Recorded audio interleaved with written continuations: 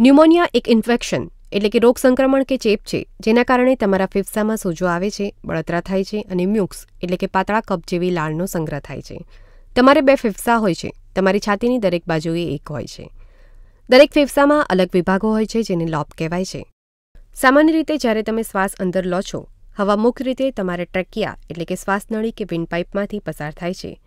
પછી મોટી નળીઓ, કે જેને બ્રોન્કાઈ કહેવાય છે, તેમાંથી પસાર થાય છે. અને પછી નાની નળીઓ જેને બ્રોન્ક્યુલ્સ કહેવાય છે, તેમાંથી પસાર થાય છે. અને છેલ્લે નાની કોથળીઓ, કે જેને એલ્વીઓલાઈ કહેવાય છે, તેમાં જાય છે. તમારા એરવેઝ, એટલે કે વાયુમાર્ગો, અને એલ્વીઓલાઈ લવચિક અને સ્પ્રિંગ જેવા હોય છે. જ્યારે તમે શ્વાસ અંદર લો છો, ત્યારે દરેક એરસેક, એટલે કે હવાની કોથળીઓ, નાના ફુગ્ગાની જેમ ફૂલે છે, અને જ્યારે તમે શ્વાસ બહાર કાઢો છો, ત્યારે તે સંકોચાઈ જાય છે.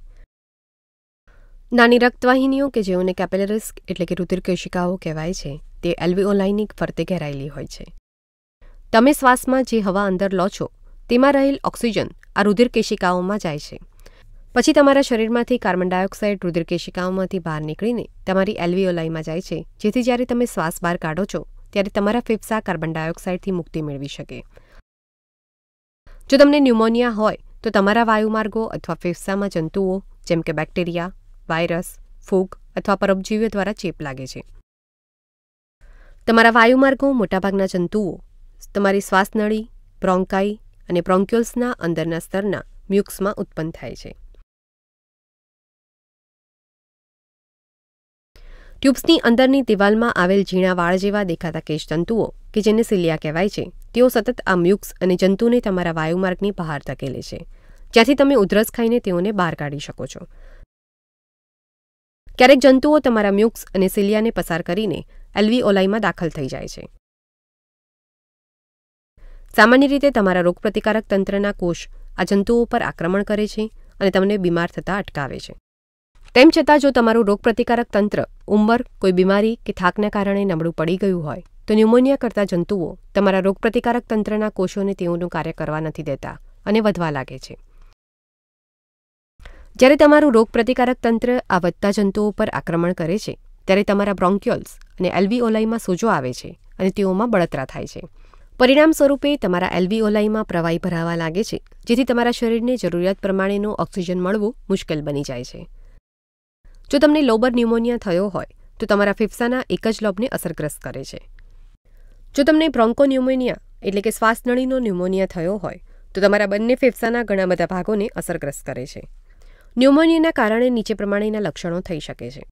શ્વાસ લેવામાં તકલીફ પડવી, છાતીમાં દુખાવો થવો, ઉધરસ આવવી, તાવ આવવો, ઠંડી લાગવી, મૂંઝવણ થવી, માથામાં દુખાવો થવો, સ્નાયુઓમાં દુખાવો થવો અને થાક લાગવો.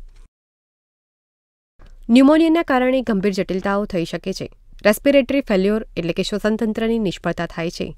જ્યારે તમારા માટે શ્વાસ લેવું એટલું મુશ્કેલ થાય છે કે તમને શ્વાસ લેવામાં મદદ મળે તે માટે વેન્ટિલેટર તરીકે ઓળખાતા મશીનની જરૂર પડે છે.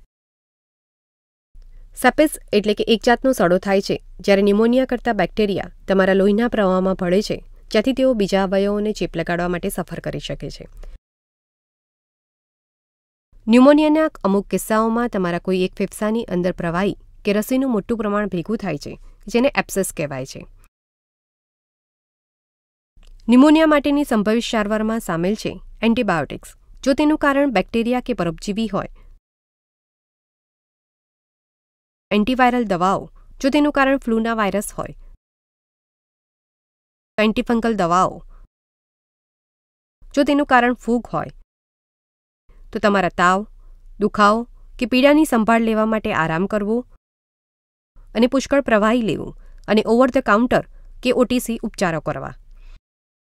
જો તમને ગંભીર ન્યુમોનિયા થયો હોય, તો તમને હોસ્પિટલમાં દાખલ પણ કરવામાં આવી શકે છે અને ઇન્ટ્રાવિનસ એટલે કે નસો દ્વારા એન્ટીબાયોટિક્સ અને ઓક્સિજન પણ આપવામાં આવી શકે છે. જો તમને ન્યુમોનિયા કે તેના માટે સૂચવેલી કોઈપણ સારવારો માટે પ્રશ્ન હોય, તો તમારા ડૉક્ટર સાથે તેના વિશે વાત કરો.